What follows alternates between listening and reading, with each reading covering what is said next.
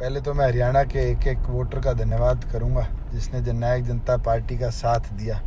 इस 11 महीने के सफ़र के अंदर जो साथ प्यार आपका मिला, आज वो ताकत बनकर 10 विधायकों को विधानसभा में लेकर गया। साथियों, एक ऐसी शक्ति आपने प्रदेश में दी है, जो युवा की आवाज़ को बुलंद करेगी। मैं तो आज देख रहा था 11 में से अधिकतम साथी आज युवा हैं।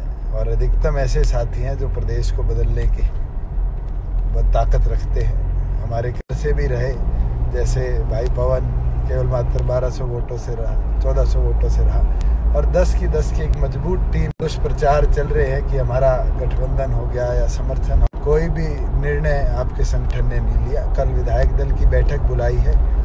तमाम 10 के 10 विधायक बैठ नेशनल एग्जीक्यूटिव की बैठक है। नेशनल एग्जीक्यूटिव जिस पर मोहर लगाएगी उसके बाद साथियों से चर्चा कर कर सलाह लेकर ही आगे का फ्यूचर कोर्स तय किया जाएगा।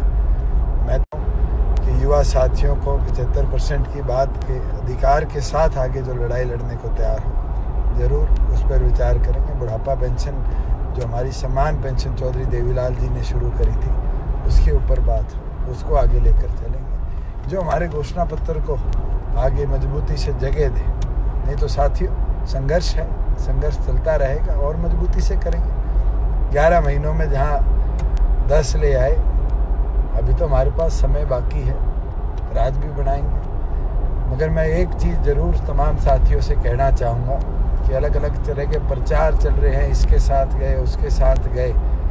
एक चीज़ विश्वास रखना, अगर ऐसी कोई भी चर्चा होगी तो सबसे पहले हरियाणा की जनता को बताकर ही उस पर निर्णय लेने का हम काम करेंगे। और एक पार्शल तरीके से एक आप लोगों से खुलकर चर्चा कर कर ही सारे विधायकों की सहमति के बाद ही अगला फ्यूचर कोर्स तय किया जाएगा। मैं तो दोबारा एक एक साथी जो इस पूरे संघर्ष में 11 महीने में साथ आया, साथ खड़ा रहा, उनका आभार प्रकट करता हूँ कि आपके साथ और आपकी शक्ति ने आज ये परिवर्तन की नींव रखी है कि प्रदेश के अंदर जहाँ हम सबसे बड़ा राजनीतिक दल बने हैं। वहीं प्रदेश से बाहर भी आज आप लोगों को लोगों ने माना है कि परिवर्तन आप लोगों की बदौलत हुआ है। तो दोबारा तमाम हरियाणा के वोटर्स का आभारी हूँ, धन्यवादी हूँ कि आप लोगों ने जो शक्ति, ताकत दी अनएक्सपेक्टेडली उसने प्रदेश के अंदर एक लहर ऐसी चलाई।